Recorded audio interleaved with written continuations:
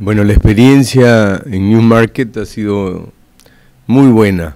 Realmente ha sido un proceso tranquilo, eh, muy bien llevado.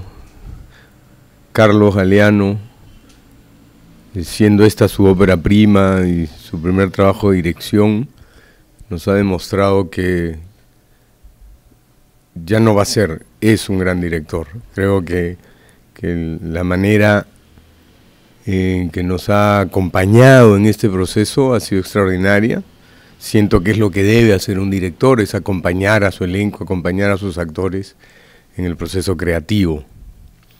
Este, y eso es lo que ha hecho Carlos, ¿no? Constantemente y dándonos las luces necesarias para ir creando toda esta atmósfera y este ambiente que, que requería New Market, ¿no?